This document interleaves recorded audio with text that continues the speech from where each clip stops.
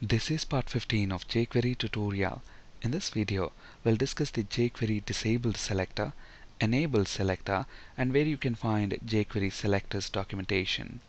First, let's look at the disabled selector, colon disabled. This selector is going to select all elements that are disabled. Let's look at a few examples. Let's flip to Visual Studio. So the HTML that we have here will produce this output. I'll have this entire HTML available on my blog in case you need it. At the moment, on this page we have four elements that are disabled. These two text boxes, the drop-down list, and the submit button. So what we want to do now is select all those elements that are disabled and set a 3 pixel solid red border around them. So within the script section we already have the ready function wired up. Now we want to select all elements that are disabled and then we want to set a border which is 3 pixel solid red. So let's save these changes and let's reload this page. Look at that. All those elements that are disabled gets a solid red border. Now here we are selecting all the disabled elements. Instead let's say we want to select only input elements. So here the drop-down list is not an input element, whereas the text boxes and the submit button, they are input elements. So we want to select only the input elements that are disabled. So input colon disabled. Let's save the changes, reload the page, and look at that. The red border around the drop-down list goes away because that is not an input element.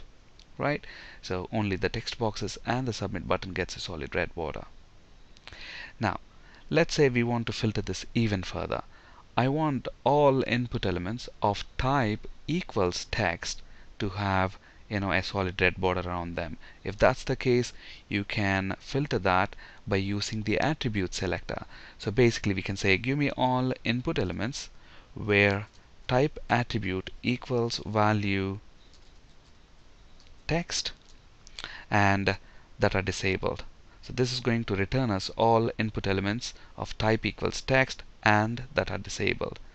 So when we reload this page only these two text boxes should have a solid red border. Now let's look at enabled selector. So colon enabled this is going to select all elements that are enabled. So instead of disabled here I'm going to use enable.